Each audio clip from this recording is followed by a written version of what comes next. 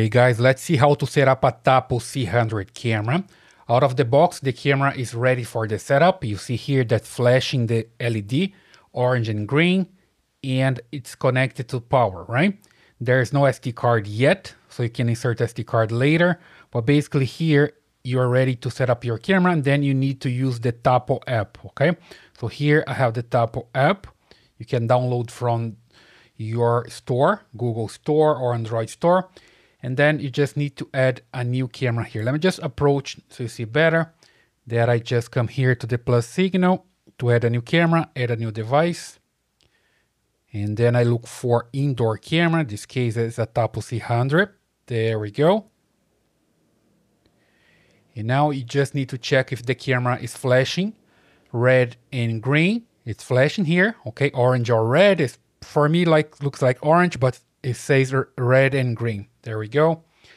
Now it's time to connect to the camera. Basically, the cell phone is connecting to this camera signal first, not to the router, right? Later, you're going to connect to the router, but basically here is the camera first. You go to your Wi-Fi and you're gonna look for the camera's signal. So just look for Tapo here. You see a lot of signal. There we go, Tapo. It's refreshing. Just went somewhere. There we go. Tapo Cam. Now it's blue. It's connected to the camera. And then you come back to the app. Okay. It's the same with the Android. Just connect to the camera and wait for it. There we go. Now you just need to insert the router and password. Okay. Just keep here, keep trying Wi-Fi. If you see this message, and here is my router signal and the password. Okay, I'm just using one here for testing, but you just need to insert your router's password. Then next, confirm. Connecting to Wi-Fi. Wi-Fi connected. Okay, now you just need to name name your camera here.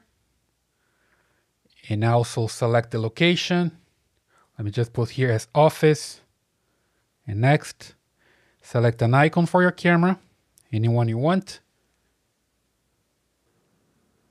There we go, setup complete, sounds good. Now we'll just dismiss this. And you can insert the SD card, right, as a local storage. Got it, got it for the firmware update. And you're good to go, okay? Let me just put the camera back there so you can see something.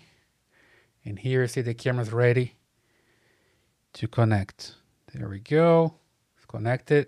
And now if I move here, you see that's moving there. A little bit of latency, but that's okay with the uh, Wi-Fi camera. It's working, all right? Now you can just, you see motion detection. That's the camera information.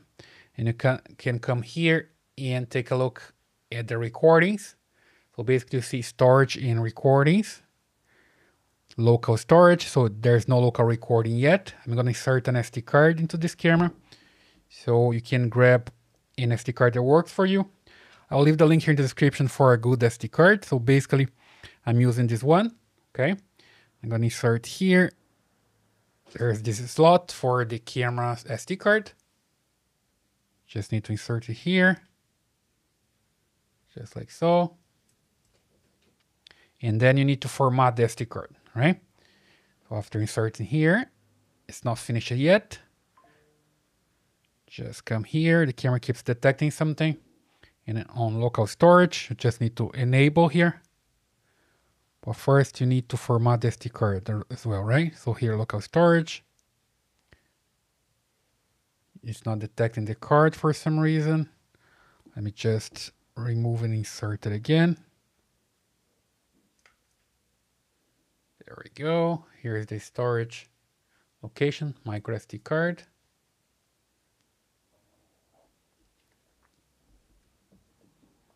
Let's see now if it works. For some reason, you can't see the SD card. In this case, you can't just format the SD card in a computer and put it back, or you can just restart the camera and see if it works. Let me just restart first. I just unplug here and plug it back.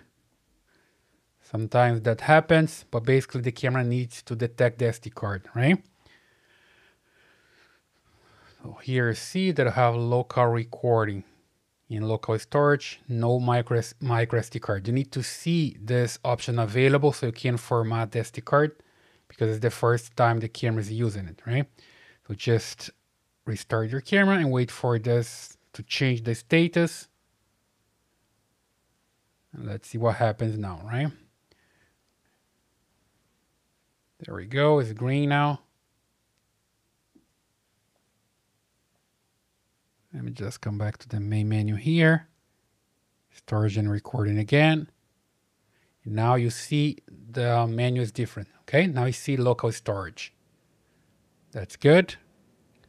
When I click here and tap here, you see that's the information for the recording schedule. And here I can format the SD card, right? It's the better idea. First thing that you do here is format the SD card because it's a new one. Hit here, it's formatting now.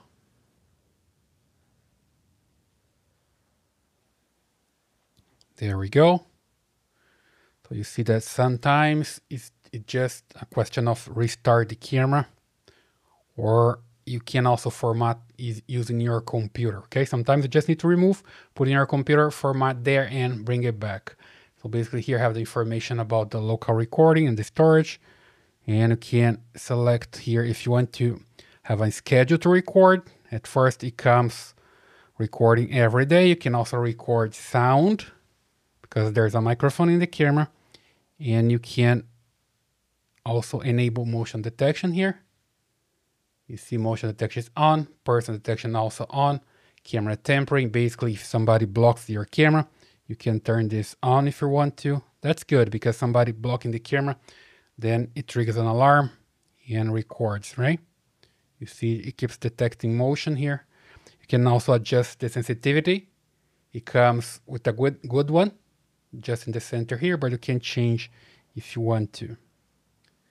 There we go, baby crying. If you have a baby there, you want to detect baby crying, you can use this as well, right? So basically working right now and it starts recording. Okay, I'll just move the camera there. You see that keeps showing the latest picture that he saw. There was the box back there. Let me just go live now. There we go, now it's live. See that I'm moving back there. And now it's going to record everything and later I can just check the recording. You see here, there's a button for playback and download. And from here, you can see all your recordings. It starts recording and showing you here all day long. You have a here a calendar that you can take a look. You see the recording there. And I also have a calendar that you can check here the days, right? So that's the way you can set up a Tapo camera, insert SD card and start recording everything and you're good to go, right? I hope you like this video. This again is the Tapo C100 setup. Please leave your comments here, subscribe to the channel, and I see you in the next one.